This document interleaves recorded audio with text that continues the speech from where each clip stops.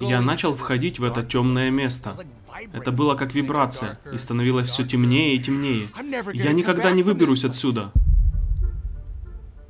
История моей семьи — это история скрипача на крыше, в которой набирали силу еврейские погромы, и был царь, и они нападали на деревни и уходили с тем, что могли унести.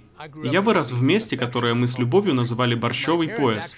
Мои родители говорили дома на идиш, это был их тайный язык. Меня воспитали сионистом, наша жизнь вращалась вокруг Израиля. Мы ходили в синагогу на праздники, Рошашана, Йом-Кипур. Я помню кущу у нас во дворе. Но самые теплые воспоминания были о поездках в лагерь в Хабаним. Мы пели.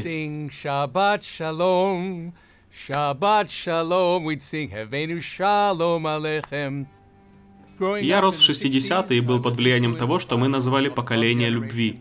Я принимал ЛСД, кокаин, псилосибин, мескалин, мефедрин, нимбутал, секанал, тетрагидроканабинол и многие другие вещи. И если бы все в мире были под воздействием наркотиков, мир был бы лучше. Это была ложь, но тогда мы этого не знали. Я встретил свою жену в 67 году. Мы стали заниматься трансцендентальной медитацией с Махариши Махеш Йоги. А затем мы вступили в ашрам. Я носил тюрбан, завязывал его каждое утро и был в нем постоянно. Мы называли это белая йога. Мы должны были приносить фрукты или цветы и возлагать их на алтарь. Позже я узнал, что мы как бы приносили жертвы индуистскому богу. И что, по сути, произошло? Я отверг свой иудаизм. Однажды я медитировал, мои глаза были закрыты, и я начал входить в какое-то темное место. И становилось темнее и темнее.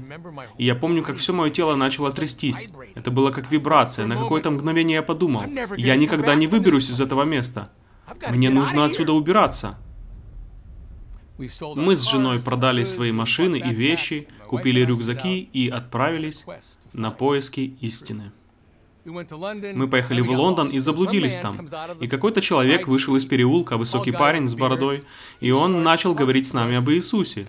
Иисус не для евреев, потому он может говорить все, что хочет. Он уходит и возвращается минут 20 спустя с книгой. И эта книга называлась «Бог, который существует». Ее автор — человек по имени Фрэнсис Шефер.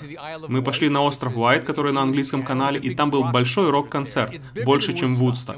И мы расположились рядом с двумя парнями. Они сказали, мы нашли гуру Запада. Я сказал, кто же это? Они ответили, что его зовут Фрэнсис Шефер. Я сказал минуточку, залез в рюкзак, достал эту книгу и спросил, вот этот парень? И, конечно же, это был тот самый человек, о котором мы слышали две недели назад в Лондоне. Крутое совпадение. Для нас тогда все было увлекательно. Мы путешествовали автостопом по Бельгии, Франции, Дании, Голландии. Мы зашли в книжный магазин, и посреди отдела религии была книга с названием «Лабри». Это было название общины, в которой жил Фрэнсис Шафер. И там была карта, как добраться до Лабри. Мы поехали автостопом, и нас подобрал один парень. Он отклонился на два часа от своего пути и высадил нас прямо перед главным входом в Лабри. Мы остались там. Нам начали рассказывать об Иисусе. И точно так же, как парню в Лондоне, я сказал, «Послушай, Иисус не для евреев, а мы евреи». И нам сказали, да, но он был евреем. Там был еще один человек, большой эксперт в пророчествах.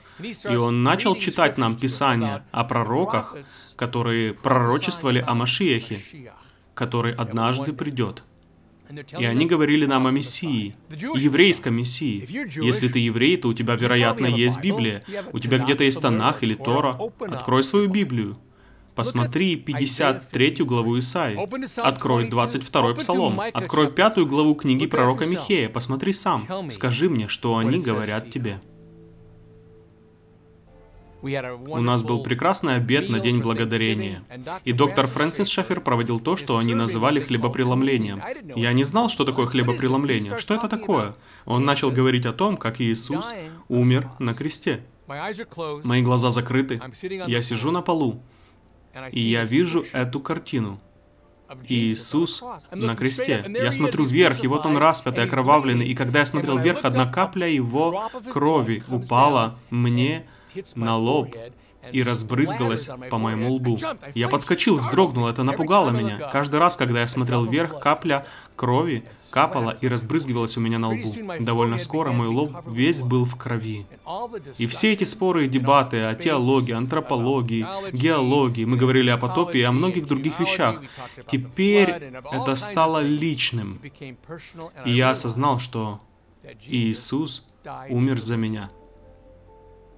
Израильтяне, народ, который вышел из Египта, Бог дал им систему, как приходить к Нему или как приближаться к Нему.